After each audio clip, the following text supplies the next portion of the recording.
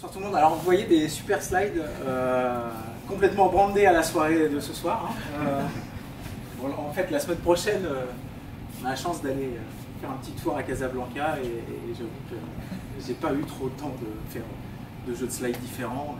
Il y a un peu beaucoup de monde qui m'attend là-bas, plus que vous, je suis désolé. Donc, J'ai laissé les slides au format de Devox. Ou en Twitch avec là. Ouais, ouais, vous pouvez. euh. Euh, qui je suis Euh, Je suis un développeur euh, Java, euh, back-end principalement au départ, avec un peu plus de 15 ans d'expérience, qui depuis juin 2016 fait énormément de front, voire même que ça. C'est vrai que j'ai pris plaisir à redécouvrir JavaScript, ou je crois à le découvrir en fait tout court. Et quoi dire de plus bah, donc, que Je travaille chez Sagi et euh, que euh, je fais partie de l'équipe de Devox France. Donc si jamais euh, vous avez des questions sur comment est-ce que je peux postuler, comment je dois tourner euh, mon sujet pour être pris et tout, je ne pourrais pas vous aider parce que je ne fais pas partie du comité de sélection. bon, alors c'est pas des slides promotionnels, c'est vraiment pour vous, vous mettre dans le contexte parce que je commence à vous parler de, choses sans mettre de contexte autour, ça va être un peu compliqué. Euh, Sagi, donc c'est une, société qui fait une plateforme euh, Big Data prête à l'emploi. On va aller extraire les données euh, dans, les, euh, bases de données euh, euh, des clients avec euh, différents, euh, types de jobs qui permettent de faire le travail. hein. Euh, du talent, euh, du Spark, du Scala, tout ce que vous voulez. Ces données, après, on va les, importer dans un lac. On va les processer. Et euh, ce résultat, on va euh, utiliser des applications euh, dites intelligentes pour, bah, pour faire du rendu. Donc ça peut aller de la- l'application dont je vais vous parler tout à l'heure jusqu'à des applications complètement spécifiques développées pour les euh, on a une petite particularité, c'est que bon, ça c'est en mode SaaS, mais on a aussi euh, une appliance comme une autre boîte bienvenue. Euh, voilà, vous connaissez ou pas? Non Euh, Bon, à la différence de celle de PyPiper, euh, l'intérêt est vraiment que ça permet aux clients qui ont besoin que leurs données ne sortent pas de leur réseau, qu'ils aient accès à, toute la puissance de la plateforme sans que les données transitent dans le cloud. Voilà. Euh, donc je vais vous parler euh, de notre CTO. Non, celui-là c'est celui euh, qui m'a contacté la semaine dernière. Je, vais vous, parler de Youn. Il est là.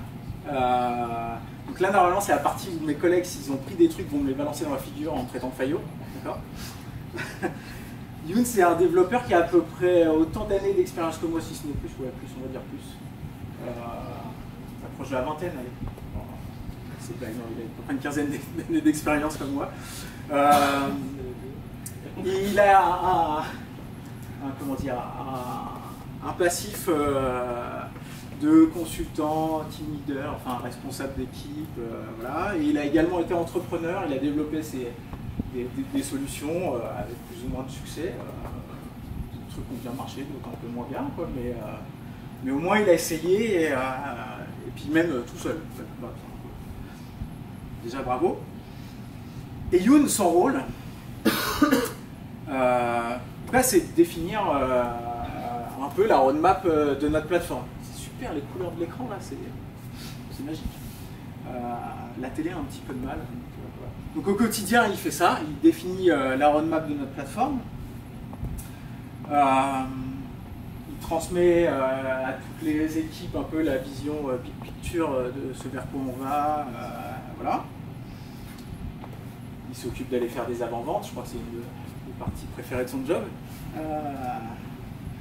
Il s'occupe de toute la partie RH avec les équipes techniques. Puis bah, il doit avoir une vision sur l'écosystème, son évolution, comment bouge la concurrence, voilà. Euh, comment, euh, enfin, il doit préparer les démos commerciales parce qu'on arrive en avant-vente, mais il nous faut des démos. il s'occupe de les préparer. il fait monter en compétences, ou du moins il met en place ce qu'il faut pour que les équipes montent en compétences techniquement. c'est le product owner de tous les produits techniques, donc en fait, il définit pas que la roadmap, il définit même dans le détail les fonctionnalités qu'il attend. Et puis, bah, il participe au recrutement, il monte les dossiers à appel d'offres, il participe, il gère la paperasse, les crédits impôts recherche et tout. voilà. Et puis, des fois, il code. Donc bon, si vous voulez en savoir un peu plus sur euh, ce qu'est sa vie, euh, il a fait une super présentation qui est disponible en ligne, qui est euh, une CTO Beach ou les pérégrinations d'un CTO. Voilà, donc je vous engage à aller regarder si vous ne l'avez pas vu. C'est assez instructif pour savoir si jamais vous vous lancez dans, ce rôle-là dans une startup, ce qui vous, attend. Elle sera en live à Genève sinon, elle est déjà en ligne sur YouTube. donc oui, il code de temps en temps, il code. Et on va en parler. Donc, euh, quand je suis arrivé en juin, il m'a dit euh, J'ai un super truc pour toi. Euh, j'ai fait un petit, un petit proto là. ça nous permet de, de, donner au client un outil de data visualisation, enfin de data vis en fait, qui est directement configuré, puisqu'il est, dans la plateforme, donc branché sur le lac de données. Et, et à partir de là, ben, les, les gens peuvent euh, aller requêter, préparer et faire des présentations. En gros, hein, il est parti de, de, l'idée de Bunker de mettre facilement et rapidement des, euh, des, présentations en ligne et euh, ben, il s'est dit mais nous on a un truc en plus, c'est qu'on a la donnée qui est, présente dans la plateforme, donc il faudrait qu'on puisse, qu'on puisse faire ça. Donc en gros, cette application, elle permet de définir un template de diapositive, euh, sur ce template euh, d'ajouter des graphes. Euh, qu'est-ce qu'on a? On a des données qui peuvent être dépendantes de requêtes. on va avoir des tableaux et tout ça, c'est alimenté directement depuis le lac. D'accord? Donc on a un requêteur aussi qui permet de faire des, idées de requêtes et tout ça. On ne va pas rentrer dans le détail de l'application, c'est pas l'objectif. Mais ce qui est intéressant, c'est de connaître la vraie histoire et la création de, de cette application. Donc en gros, elle a été codée un dimanche après-midi. Est-ce que je donne les conditions exactes euh, Voilà, en caleçon. Euh, euh, pour une fois, le petit voulait bien faire sa sieste. Donc, elle a été présentée dès le lendemain à notre CEO plus à une chef de projet qui ont dit Ah ouais, ça a l'air intéressant, faudrait peut-être voir ce que les clients pensent. Dès les rendez-vous clients suivants, elle a été, euh, elle a été euh, présentée en disant euh, vraiment juste un essai, est-ce que c'est le genre d'application qui pourrait être utile si on voulait mettre à disposition dans la plateforme directement Voilà. Et les évolutions qui ont été réalisées sur cette appli, vous avez vu tout ce qu'il fait, bah, c'est des créneaux de 2-3 heures, je pense que c'est le max. voilà. Donc, je vous laisse imaginer l'état du code. Euh, ce qu'il faut savoir, c'est qu'en plus de, ces petits créneaux horaires là où il code, euh, il a une technique bien bien particulière de, développement. C'est vraiment un truc assez nouveau. Euh, je ne sais pas si ça s'imposera. C'est pas le domain driven design, c'est pas le test driven développement. Non, non, c'est le CDD. C'est un peu le, niveau du code. Hein. C'est le conférence driven développement. Vous imaginez, il s'assoit là. Je suis déçu parce que je pensais que tu allais me le faire en live. Toi, j'aurais pu. Euh, là, il est en train de le faire. Donc, euh, il s'assoit, il écoute d'une oreille, il code de l'autre, et, euh, et après, ça donne ça. donc ça c'est... Ah, ça n'a pas basculé. C'est pas drôle. Ça, voilà. Ça c'est c'est une application AngularJS avec euh, euh, une appli, enfin un backend euh, Spring derrière. Ok, donc ça c'est le, fichier JS Angular. C'est pas, c'est pas, enfin voilà, ça a l'air assez propre. Hein. faut que j'aille plus vite ou pas? Non, parce que, parce que bon.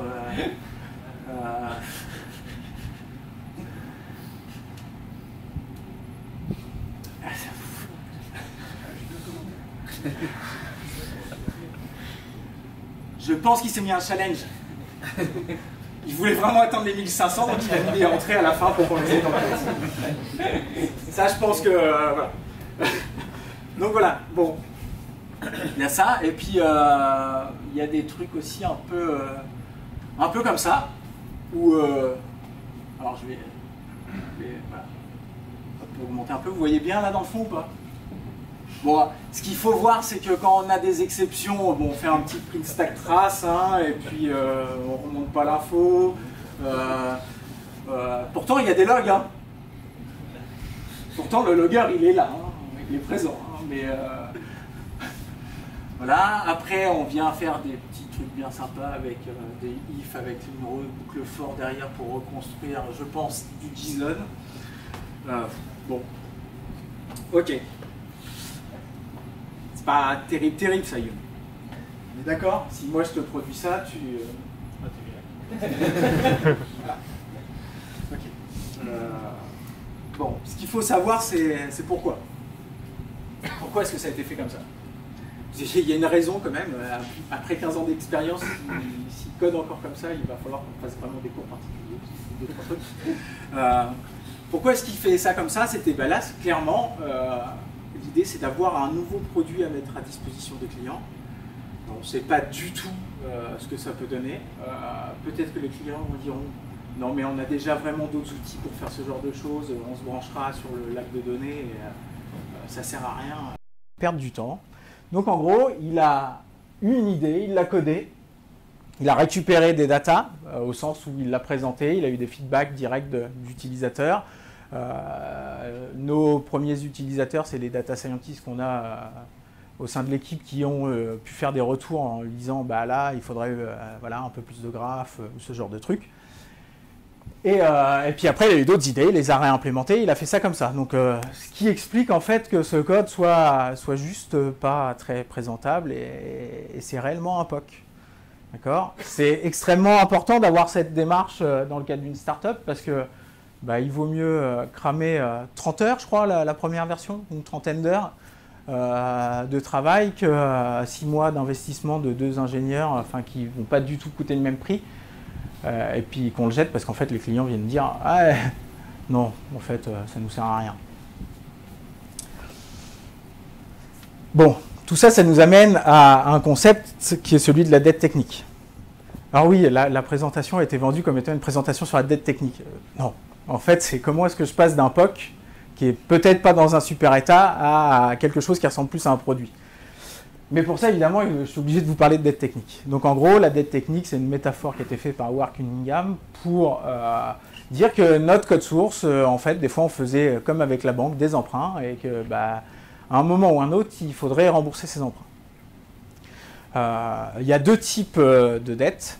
Il y a la dette qui n'est pas du tout intentionnel. Hein. Euh, voilà, on code mal, euh, on ne fait pas attention à ce qu'on fait, et puis, et puis ça s'accumule, et au bout d'un moment, on a un produit qui est super compliqué à faire évoluer. Et il y a la dette euh, technique tactique.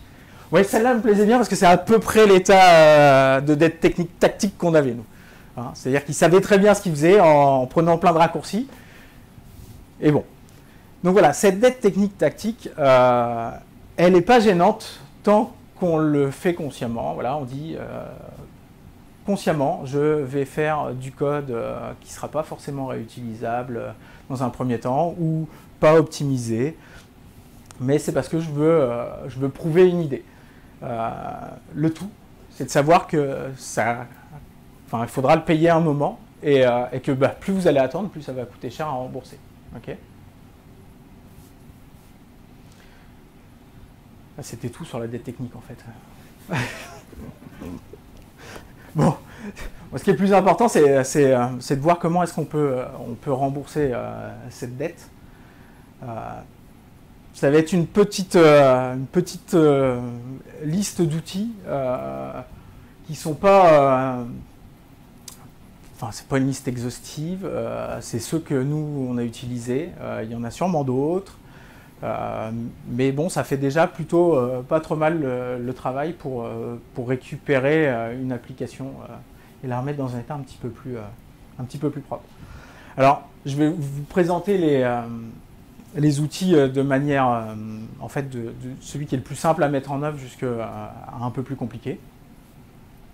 Et le premier, c'est bête à dire, mais ça reste ça, les conventions de, codage.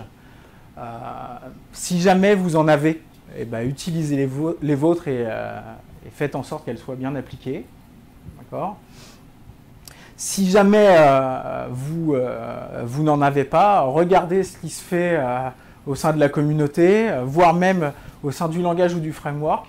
Là, par exemple, Angular 2, ils viennent avec un, un, code style fourni. Pour la version Angular 1, John Papa avait fait un travail avec la communauté assez immense pour, pour qu'on puisse coder de, manière propre. Si vous faites du Java, eh ben, il y a les vieilles les vieilles règles de codage de, Sun à l'époque qui, euh, je pense, sont toujours plutôt pas trop mauvaises. Et euh, si vous voulez être un peu plus hype, celle de Google. Je sais pas, il y en a chez GitHub aussi, peut-être aussi? Non, bon. Euh, bon, pour Ruby alors, peut-être. enfin bon. Donc voilà, n'hésitez pas.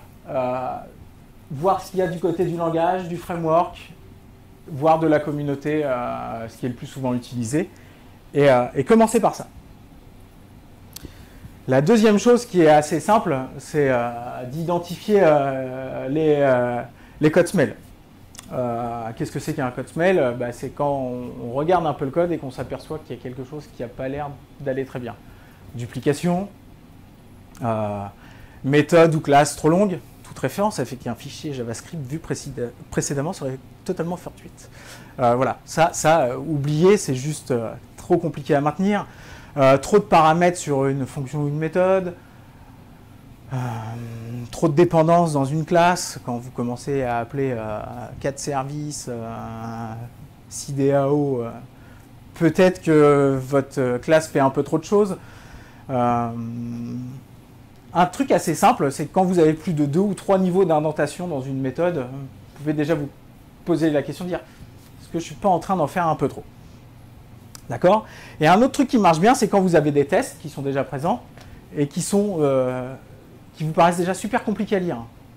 Déjà, un test compliqué à lire, ça veut dire qu'il y a forte chance que derrière, l'implémentation euh, soit pas très simple. Et puis, bah, l'autre point aussi, c'est que si vous avez du mal à écrire vos tests, c'est que vous avez sûrement un, petit, un petit problème de code semaine.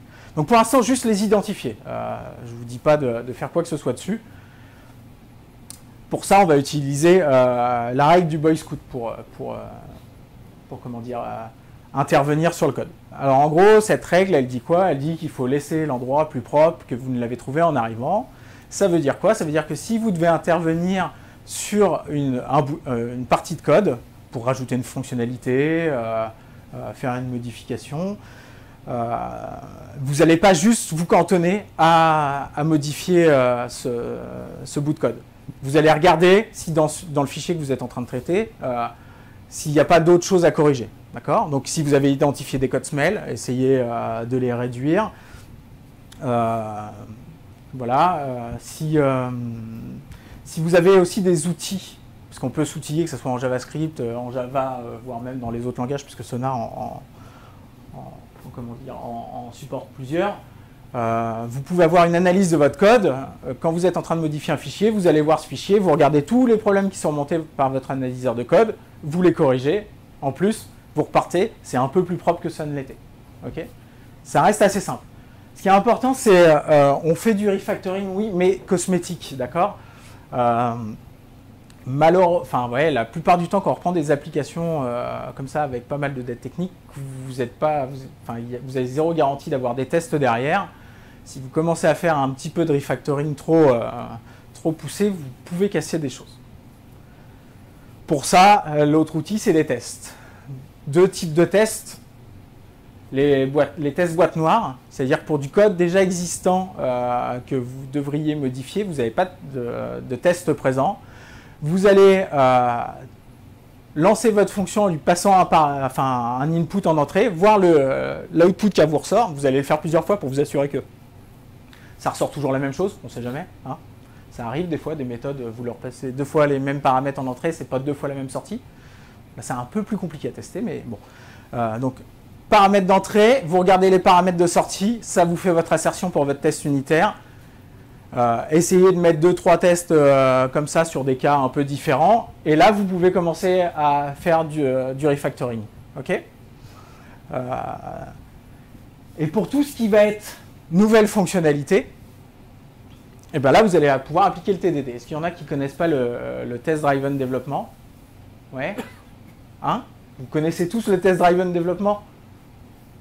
Pourquoi on n'en voit pas plus souvent dans le code? Enfin, On va voir un nombre. Enfin, sur GitHub, vous faites des analyses sur les, les, les, projets qui ont des tests? Euh, Nous, on les fait pas. Non, vous faites pas les. Bah, à mon avis, ça doit pas être très très grand. Hein. Euh, je pense que des gros projets open source doivent être bien outillés, mais il y a plein de petits projets, à mon avis, qui ne sont pas testés. Euh, or, il n'y a plus d'excuses, quoi. Que ce soit en front ou en back, tous les langages ont ce qu'il faut pour faire du test unitaire. Donc en gros, le TDD, qu'est-ce que ça dit? Ça dit que je vais commencer par écrire une assertion euh, fonctionnelle. Hein. Cette assertion, euh, je, enfin, je vais exécuter mon test. Mon test va être faux puisque je n'ai pas codé ce qui va derrière. Je vais pouvoir euh, faire le code qui valide cette assertion. Ça va, ça va donc faire passer mon test au vert. Et une fois que mon test est passé au vert, ça veut dire que j'ai déjà une implémentation fonctionnelle de ce que je voulais réaliser. Et je vais donc pouvoir faire du refactoring dessus pour essayer d'améliorer mon code. D'accord? Et une fois que j'ai terminé ça, je vais pouvoir écrire un nouveau test pour faire passer une autre assertion, donc une autre fonctionnalité ou un, autre pan de la fonctionnalité, et ainsi de suite. L'intérêt de fonctionner, comme ça, c'est que vous allez mettre en place tout un filet de tests euh, autour de votre application, et le jour où vous devez euh, intervenir dans un endroit hyper critique euh, de votre logiciel, et eh ben, vous ferez ça en toute confiance parce que vous savez que euh, si vous cassez quelque chose, il y aura un de vos tests qui vous le dira. D'accord? Le, dernier outil, on va dire un peu simple, euh, c'est euh, la revue de code. Alors, la revue de code, elle a deux, intérêts. Alors, moi, c'est par exemple quelque chose qui, manque sur le, sur le projet parce que je suis un et demi à faire du JavaScript.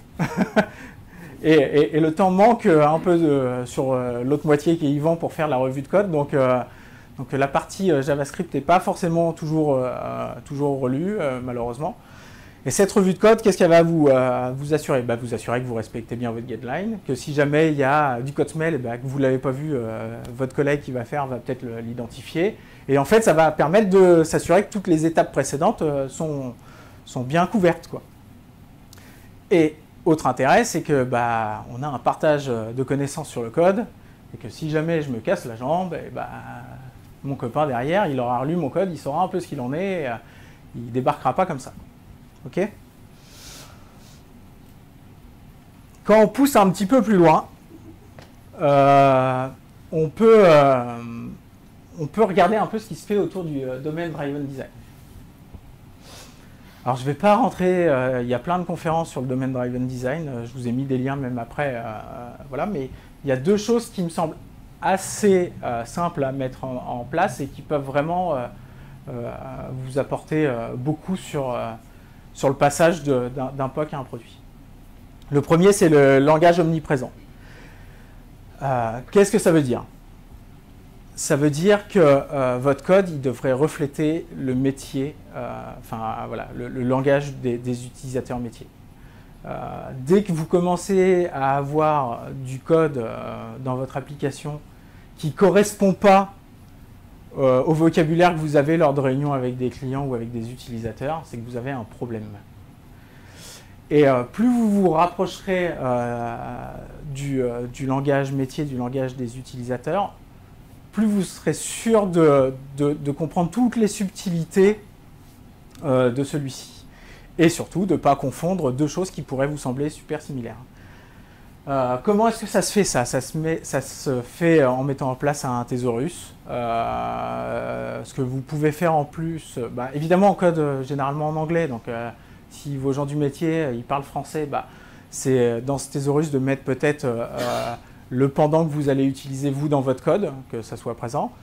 Et, euh, si par exemple euh, on a euh, le mot client qui est utilisé à des sauces différentes, on pourra mettre un peu toutes les variations de ce qu'il y a autour de client, quoi, entre, entre un prospect ou, quelqu'un pour du support, c'est des clients, mais ce n'est pas le même client que pour les gens du sales, enfin qui font des ventes. Ça m'amène derrière au deuxième concept, qui est celui des contextes bornés. Donc les contextes bornés, euh, en quoi ça consiste? Ça consiste à dire que dans une application, vous allez avoir des, euh, des objets, euh, des entités qui vont correspondre à, plein de pans du métier, mais qui en fait vont pas avoir la vraie même valeur sémantique. un client dans le contexte des ventes, voilà, il va être attaché à un territoire, des opportunités, un vendeur, un produit. Alors que dans le contexte du support, euh, ça va être attaché à un ticket ou des tickets avec euh, des défauts, une version de produit.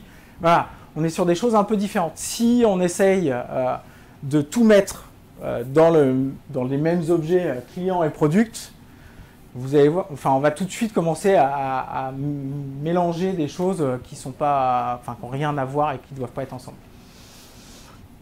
Comment est-ce qu'on peut identifier des contextes bornés? Euh, voilà. Quand, par exemple euh, vous avez quelque chose qui est en préparation, puis qui est, euh, qui expédié dans, la vente, en ligne. La partie préparation, c'est pas du tout la même chose que la partie expédition derrière. Voilà. L'adresse du client, ça va pas être la même. Dans le cadre de la préparation, ce qui va nous intéresser, ça va être éventuellement l'adresse de facturation, ce genre de truc. Dans la partie expédition, c'est son adresse postale vraiment qui est importante. D'accord? Et derrière, c'est peut-être même pas la même que celle de facturation. Si je gère euh, qu'un seul pan adresse, euh, je vais sûrement passer à côté de, quelque chose. Un des bons exemples, euh, c'est ce qui est fait chez Amazon. C'est que quand vous regardez un livre et que vous regardez le détail d'un produit livre, vous allez avoir un certain nombre d'informations. Alors que quand vous regardez des livres qui vous sont les livres que les autres clients ont achetés ou ce genre de choses, il y a beaucoup moins d'informations. On s'aperçoit que là, ce qui ressort le plus, c'est les notes ceux qui ont acheté ou des, ou des... Voilà, on est déjà dans un contexte qui est complètement différent.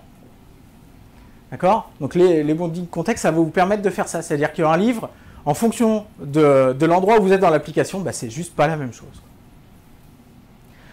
Donc là, ces deux choses qui sont issues du domaine Driven Design sont déjà des, concepts un petit peu plus compliqués à manipuler parce qu'il faut faire un, effort d'abstraction, il euh, faut euh, pouvoir bien dialoguer euh, avec son client et comprendre le métier de son client quand votre appli a déjà un petit peu d'années d'existence, rechanger le code, faire plein de refactoring, c'est pas forcément simple. Donc c'est euh, des, actions à mener sûrement sur des tâches, dans des tâches de fond un petit peu plus longues. Si vous voulez aller un petit peu plus loin sur le domaine Driven Design, vous pouvez encore améliorer la qualité de votre code en, mettant en place des architectures hexagonales, là où en fait vous allez complètement isoler votre cœur de métier de toute la partie euh, plomberie technique. D'accord? Donc, euh, euh, une IHM, c'est de la plomberie technique. Un accès à une base de données, c'est de la plomberie technique, c'est pas votre cœur de métier. Donc les archives hexagonales vont vous aider à, bien séparer tout ça. Et si vous voulez encore un petit peu plus loin, vous avez tout ce qui est autour de l'event sourcing et du CQRS pour gérer en fait vos événements. Mais là, c'est plus à titre d'information pour vous, c'est des choses assez intéressantes. D'accord? D'accord. Merci euh, de nous prévenir. Je devrais faire un bon, hein, pour les gens qui nous regardent. Euh, bon, ça c'est un problème qu'on rencontre qu'on a notamment rencontré, euh, enfin que j'ai rencontré avec le, code de Yoon. Il est prêt, hein, lui, il a déjà les mains sur les oreilles. c'est pour pas entendre les méchancetés que je dis. Donc, en gros, n'oubliez pas qu'il y a des outils extrêmement puissants euh, pour faire certaines choses. Par exemple, quand vous faites du web, la présentation, utilisez le CSS. Ça sert à ça. Pourquoi est-ce que je vous dis ça? Parce qu'en fait, on s'est retrouvé, euh, euh, je vous ai expliqué que là, que sur notre, on, présente, enfin, on a des, des, slides. Ces slides, elles, sont, elles ont un pattern graphique avec un certain nombre de cases et tout ça. Et ça, c'était stocké dans la base de données, dans la description de la, de la slide. Bon, après un effort de refactoring non négligeable avec euh, Yvan, euh, nous avons réussi à sortir tout ça dans du CSS. Et en fait, euh, la seule information qu'on stocke sur nos slides, c'est juste dire bah, c'est le layout machin qu'on va appliquer. Donc, toute la partie présentation, il y a les outils qui vont bien. Ok? Un autre, un autre cas qu'on a eu, et ça c'est normal, c'était clairement lié au fait que ça soit un POC, qu'on soit dans un, un, premier niveau, et on va montrer, on, doit montrer rapidement, c'est que dans notre requêteur, on exécute les requêtes, donc on a un driver. Voilà.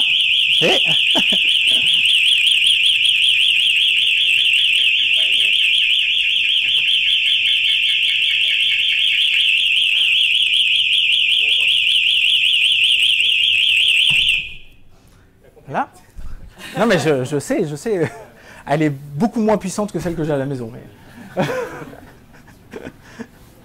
Euh, donc en fait, euh, on a un requêteur qui nous permet à la fois d'exécuter euh, les requêtes et qui nous ressort la structure du schéma sur lequel on est en train de requêter. Donc en gros, la liste de tous les schémas, les différentes tables et les champs dans chacune de ces tables.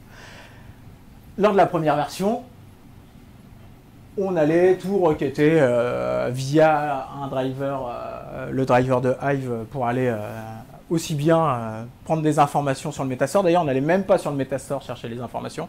C'était des requêtes via l'HDFS qui allaient lui récupérer les informations. Pour une V1, parfait. Puis on a, eu un client euh, qui avait énormément de schémas, avec beaucoup de tables et encore plus de champs. Et là, ça a été le drame. C'est-à-dire qu'en fait, c'était juste pas l'outil pour aller récupérer les informations liées au Metastore ça n'a pas été extrêmement compliqué, mais euh, de dire bah, c'est quoi le meilleur outil pour aller requêter le Metastore? C'est d'utiliser euh, le Metastore client avec l'API Swift. On est allé direct dessus. Et ben, on est passé euh, vraiment de. je crois que j'ai même pas eu les résultats les premières fois, tellement c'était long. À en à peine moins d'une dizaine de secondes, on avait l'intégralité du schéma qui était remonté plus après quelques petites optimisations en disant bah, on va pas charger tous les champs parce que ça sert à rien tant que la personne n'a pas cliqué euh, sur le détail de la table et tout ça. Mais voilà. Donc ça c'est euh, vraiment euh, quelque chose d'important. Vous faites du Java, vous avez l'habitude d'utiliser votre driver JDBC habituel qui va bien et qui, qui fait super bien le boulot pour quasi tout. Ouais, mais dans certains cas, ça va juste pas être la bonne solution. D'accord Donc en fait, avant de vous, euh, dire quoi retenir, euh, je voudrais euh, vous, montrer comment est-ce que ça peut évoluer un peu. Donc ça, c'était bah, notamment le, code qui permettait à la fois d'exécuter une requête et puis là d'aller d'aller requêter, enfin voilà, d'aller récupérer toutes les informations sur le Metastore et tout. Ça après, ça se transforme quelque chose de euh, vachement plus lisible parce que bah, le Impala DAO, il ne fait que lire les données dans euh, Impala et il exécute les requêtes. D'accord? Et, euh, bah, il se reconnecte automatiquement et puis et puis il y a ce qu'il faut pour mapper correctement les données qu'on récupère en JSON. L'autre cas de figure, euh, qui est, euh, je pense, encore un peu plus euh, impressionnant, et ça, je dois rendre à César ce qui appartient à César, c'est-à-dire que le index JS que je vous ai montré, je ne l'ai pas eu comme ça. Yoon avait déjà énormément refactoré avant que j'arrive. Et, en fait, tout ce qui était dans le index JS, là, ça se retrouve dans plein de répertoires différents, avec tout ce qui concerne l'édition dans des directives, des fichiers HTML qui vont bien, les fichiers JS qui vont bien, et tout ça. Donc un redécoupage complet en appliquant euh, les règles de John Papa. Et là, d'un seul coup, on se retrouve avec un code qui est beaucoup, beaucoup plus intéressant. Ah oui, c'était ça que je voulais vous montrer. J'avais le strip DAO qui traînait là. Euh, voilà. Donc ça, voilà, ça c'est le, client pour aller euh, requêter dans, dans Swift avec différents niveaux si on veut récupérer que, la, que les informations de la database, que de la table, enfin, ou des fields. Un exemple de ce que peut donner du, du, code euh, sur lequel on a déjà fait un peu de refactoring mais qu'on n'a pas complètement euh, retransformé. Donc ça c'est euh, une, une directive en semi-John Papa. C'est-à-dire qu'il y a le début qui a été fait. Et puis on s'aperçoit qu'en fait tout a été mis dans la fonction link, notamment des fonctions qui sont purement d'un point de vue, enfin qui sont purement d'un point de vue contrôleur. Et voilà ce que ça peut redonner derrière. On a vraiment la, déclaration de la directive en disant que bah, c'est voilà, un type élément, qu'on va appliquer le HTML qui va bien. Puis on s'aperçoit qu'en fait, sur la partie HTML en traitement, on n'a rien à faire. Tout ce qu'il y avait dans le link tout à l'heure, le link, en fait, c'est une méthode qui vous permet de, modifier un peu votre, euh, DOM au moment où vous construisez votre élément. Tout ce qu'il y avait là-dedans, en fait, c'était juste du comportement euh, et de l'interaction sur le sur l'élément HTML. Euh, et en fait, tout se retrouve comme ça avec avec la déclaration des variables, des méthodes qui vont être exposées, une fonction activate qui va se lancer euh, si jamais on avait des traitements à faire tout au démarrage de l'instanciation de notre composant, et puis, puis ben, reste de, ces fonctionnalités. D'accord? Donc là, en gros, ces, bouts de code, c'était pour vous montrer ce que euh, l'application des différentes méthodes euh, que je vous ai présentées permet d'obtenir. Donc un code qui est beaucoup plus lisible, plus facilement maintenable, les choses sont rangées à un endroit assez précis, et euh, si jamais euh, vous avez un bug, ben, vous allez le trouver beaucoup plus rapidement, ça va être très ciblé.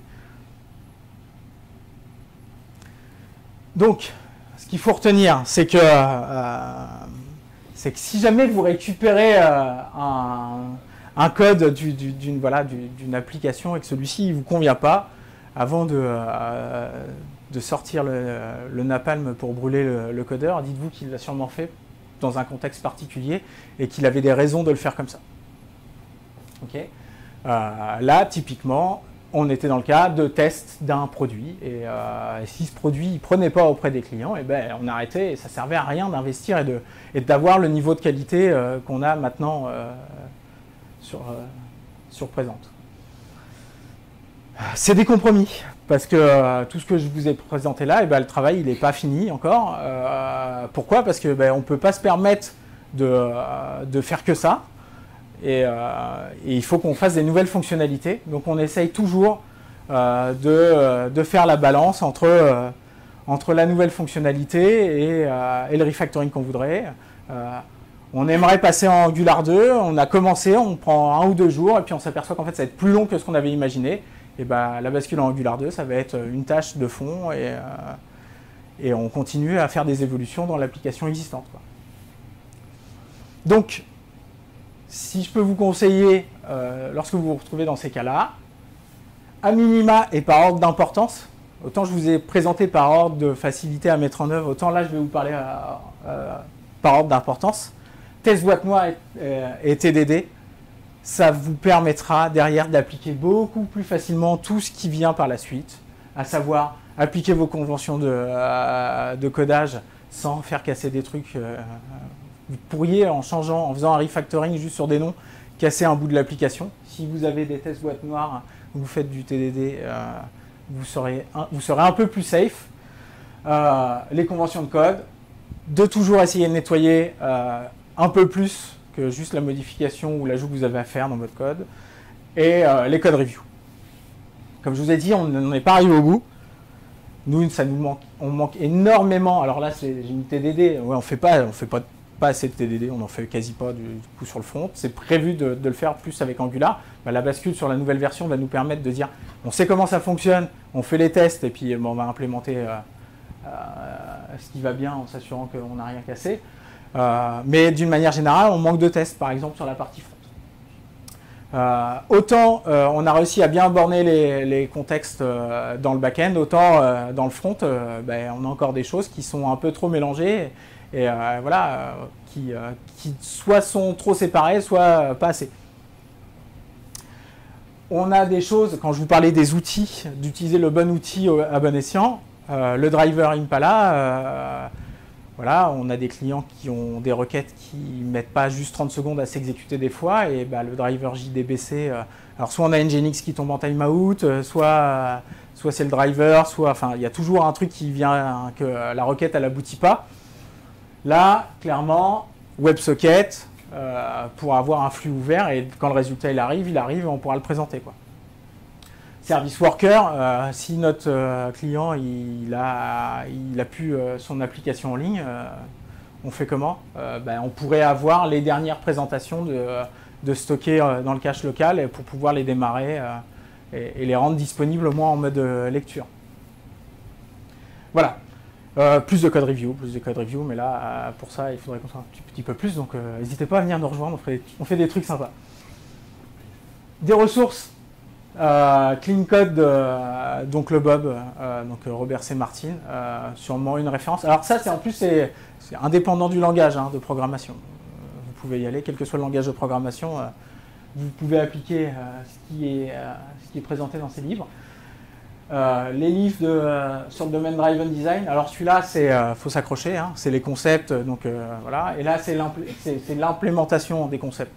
Donc il est un peu plus euh, facile à lire parce que plus proche de la technique. Par contre, on peut, euh, on peut louper des notions si on ne lit pas l'autre d'abord. Et si en fait ça, ça vous paraît trop gros ou ça va un peu trop loin déjà pour commencer, euh, il y a Octo Technologies qui a fait un livre blanc sur, sur en fait Culture Code, ce qui est des bonnes pratiques de code. C'est téléchargeable en ligne et, et c'est plutôt, plutôt très bien fait.